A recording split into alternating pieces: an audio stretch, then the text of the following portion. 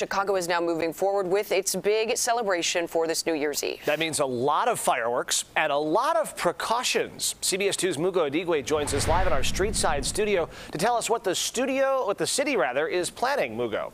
Yeah, good morning. This will be a very, very big fireworks display. We're talking the biggest in the city's history, stretching one and a half miles. We know at midnight, fireworks displays will launch from just south of Navy Pier, as well as seven locations along the Chicago River, including LaSalle and State Streets. The city will close some sidewalks, meaning people will not be allowed to watch fireworks from the Riverwalk. Of course, there's still that big question of safety, considering COVID-19 numbers.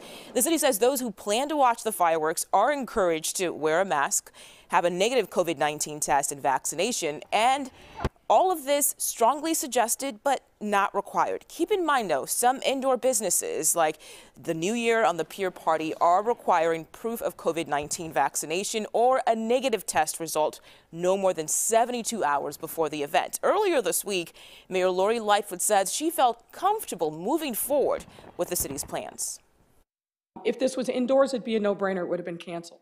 But since it's outdoors and we're um, spacing people out, we have some confidence um, that we're going to minimize and mitigate. Now, keep in mind, while outdoor events do limit the spread of COVID-19, doctors say transmission is still possible. We're live in our street side studio. Mugo Odigwe, CBS 2 News.